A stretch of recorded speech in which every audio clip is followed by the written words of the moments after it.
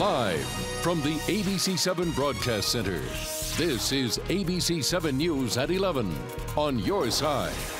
Happening now in Prince George's County, the search for a man accused in a brutal murder in Laurel. The victim was found dismembered in trash bags. ABC 7 cameras were there when another suspect in this crime, Santos Mejia Yanes, was taken to jail. Prince George's County Police were at this home on Enfield Court much of the night, and that's where Tom Roussey joins us live. So, Tom, do they have any new leads tonight?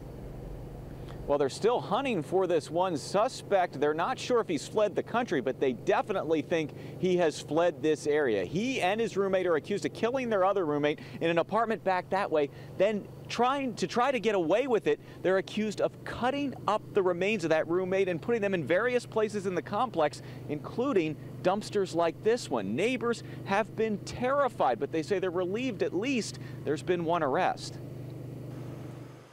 After working a long day, tonight crime scene investigators removed a number of bags of evidence from the apartment where sources say the victim was strangled by his two roommates, then cut up with a kitchen knife. Earlier, you could see the detectives moving around the second floor apartment as they collected the evidence. Well, I didn't hear, I didn't hear anything.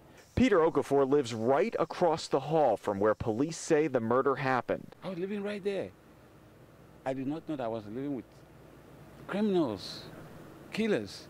Police believe it was sometime Saturday that victim Jacinto Perez was killed by his roommates. Tonight, suspect Byron Cruz Vargas is still on the run. The other roommate is behind bars. Prince George's County Police say they nabbed Santos Mejia Yanes in Beltsville, not far from the South Laurel apartment complex where the murder happened. Police believe he and Cruz Vargas got into an argument with Perez over money. Then, after killing him, tried to cover it up by cutting up his body and putting his remains in four bags, which they got rid of around the complex. Neighbors were horrified. You never know what's going on in these people's mind nowadays. I was, I was terrified until I heard the news this afternoon. I was relieved, and I thank God for that.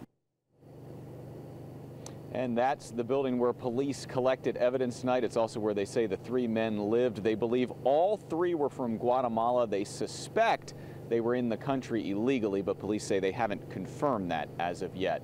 Live tonight in South Laurel in Prince George's County, I'm Tom Roussey, ABC 7 News. Mm, just horrific. Tom, thank you.